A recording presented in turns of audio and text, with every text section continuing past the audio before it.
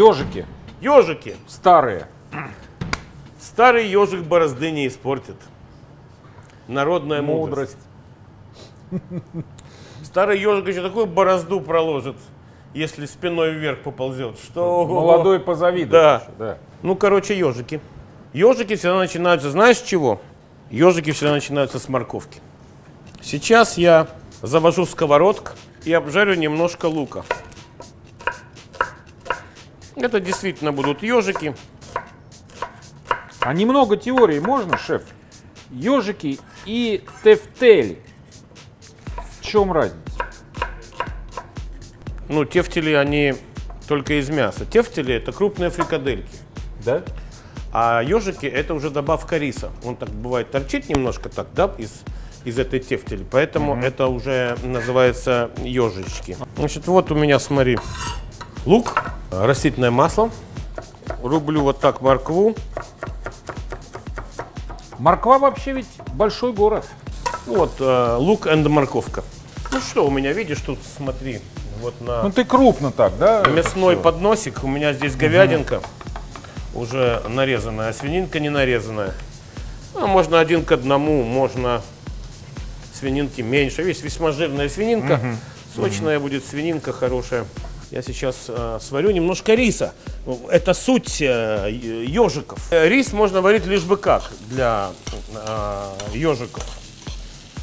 Это второстепенный, собственно, компонент, хотя важный, конечно. А, рис. Его нужно сварить до полуготовности. Поэтому тут, чтобы не ошибиться, можно заведомо взять заведомо много воды. Вот я сейчас налью воду. Чтобы он варился быстрее, я сейчас залью его кипятком. Ну, можно даже ради понта его подсолить. Кипяток. И вот заведомо много воды. Чтобы сварился, так сварился. Потому что он все равно промывается, этот рис.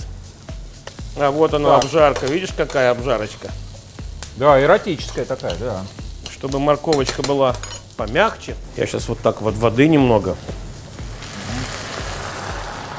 И через какое-то время все опять начнет жариться. Но Зато морковка размягчается, и лучок становится мягче. Но у меня больше морковка сейчас, так сказать. Это больше гондурас беспокоит меня, чем лук. Ну, ты можешь пропустить через машинку, кстати, да, вот эту Да, смесь. давай, давай. Собственно, вот толкачик. Сейчас я включу тебе машину.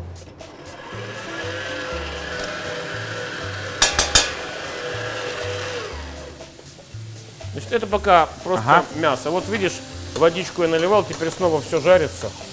Вода испарилась, все размягчается. Мне на самом деле надо немножко это фарш измельчить тоже. Немножко А, поэтому так крупно было, да. Да, потому что это не важно, как.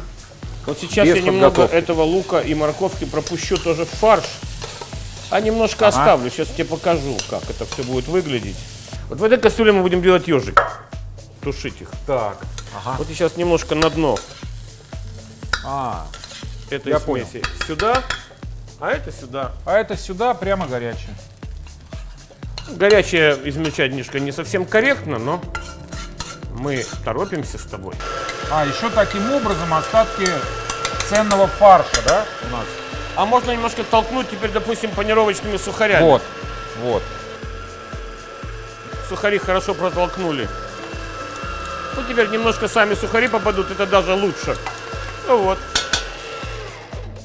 Пока варится рис, очевидно, что нужно дать сюда соль. А перчик я люблю дать живенький.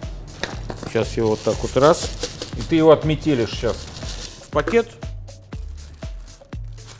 Пакет закрыл и сейчас молоточком для отбивания мяса.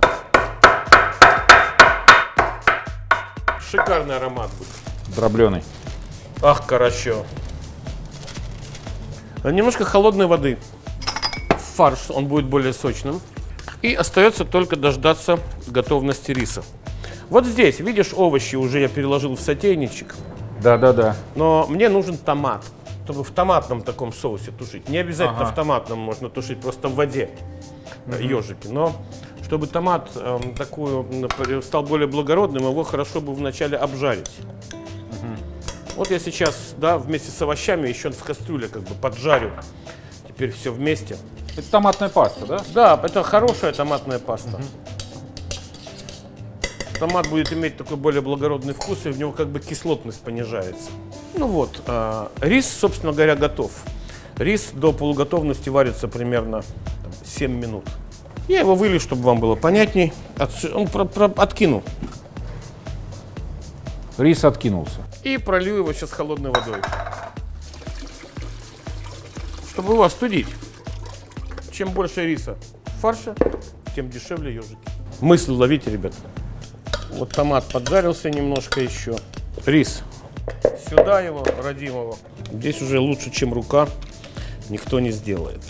А рукой, наверное, и быстрее, и я, я даже не знаю, ну, Ну, чтобы рука почувствовала все неоднородности фарша, чтобы фарш стал однородным. Ложка ничего не чувствует, она ложка.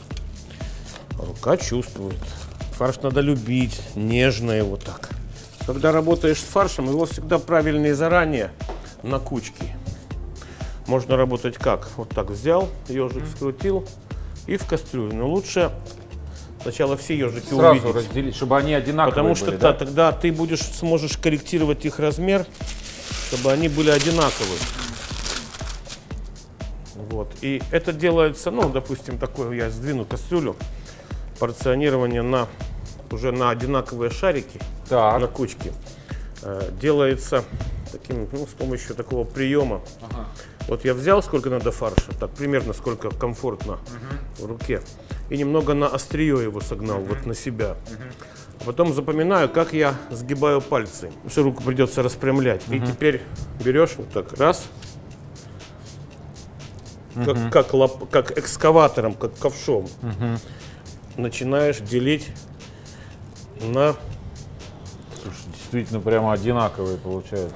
На кучки, которые... кажется, если их взвесите, там плюс-минус там 2, 2 грамма будет. Но зато ты их Реально. видишь, и если тебе какая-то кучка кажется больше или меньше, ты всегда подкорректируешь, либо от большей отщипнешь и положишь на меньшую, либо от общей массы возьмешь. Вот так правильнее работать. Ты уже видишь тогда, сколько штук ты получишь. А вдруг мало? Значит, надо все собрать вместе опять в кучу. Да. И уже меньшенькими разделить, Меньше, чтобы да. было, мало у тебя там 20 членов семьи, Да, да, а да. 19 ежиков Да, получилось. кому-то не достанется. Ну вот последний, видишь, кусочек, Вот он. он. маленький. Ну я тогда возьму так вот и быстренько его По чуть-чуть. да. разделю по всем. Может, мне какой-то кажется и меньшеньким, там, допустим, незаслуженно обиженным. Вот и все, я видишь, слишком сколько у нас получилось. Здесь 15-16 штук. Ну, режиссер съест, съест 8. И всем остальным по одному. Я просто ложкой распределю эту томатную базу вот по дну. Томат растворится, а эти овощи, которые лежат сейчас на дне, они не дадут нижнему слою у ежиков пригорать А, к, ко дну, потому Вот что риски что. есть. Ведь они будут лежать высоким слоем, Да. верхние будут на нижние давить, и они могут прикипеть, да, пригореть. внизу-то температура Да. большая. Я имею право абсолютно свободно себя чувствовать и в этом смысле взять и еще немного лука шинкануть вниз, чтобы равномернее закрыть. Подсыпать. Ага. Да, он будет стушиться, лучок будет хороший, вкусный, такой Будет нижний слой. вкусный, да. Это надо съедать, конечно, когда доходишь до дна кастрюли. Поэтому, не знаешь, ничего не мешает. Был бы кусок морковки, я бы еще и морковки там шинканул. Это не важно. Все, теперь пошел. Э, Ну, можно руки мочить, чтобы фарш не приставал. Но этот фарш не очень приставучий, потому Немножко что рис, рис да? не давать. Подклеится. Да, я его подкручиваю. И сюда. Я могу, кстати, взять лаврушку. Ложить Ага. одну лаврушечку на, На дно. дно. Я могу и для аромата взять еще а, того же самого перца. Куда он делся? Вот он. Тоже на дно. Горошку. Прям горошку горошку. можно просто, да. Хуже-то не будет. Вот они пошли.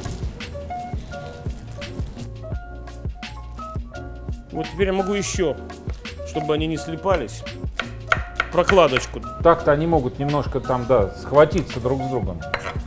Расползтись.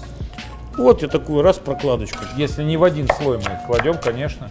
И поехал Это дальше. Овощами делается. добавлю воды, томат растворится, сделает жидкость красненькой, они все будут булькать. Я могу потом добавить немного сметаны даже, чтобы Сметаны, они тут туда тушились в прямо такой в, э, томатно-сметанной водичке. Вот как раз, видишь, хорошо получилось. Мы как раз ровно два слоя Два слоя, да, как раз. закатать удалось.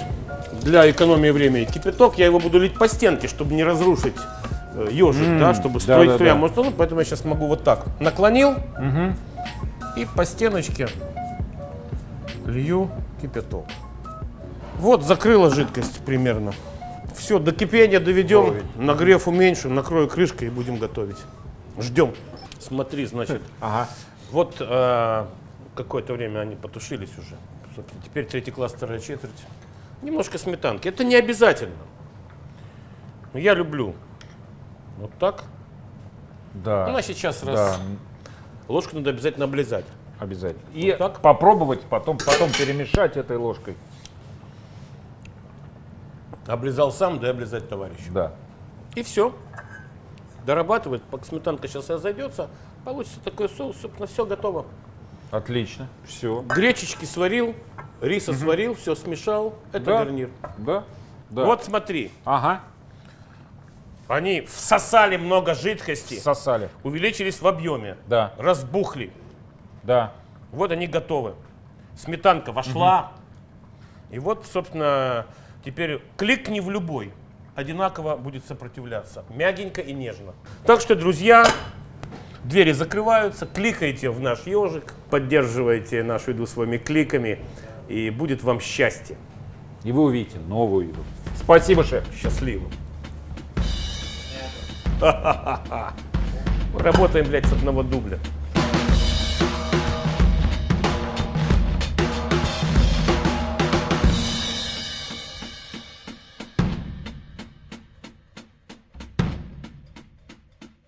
Как у тебя умещается это все в голове? Вопрос.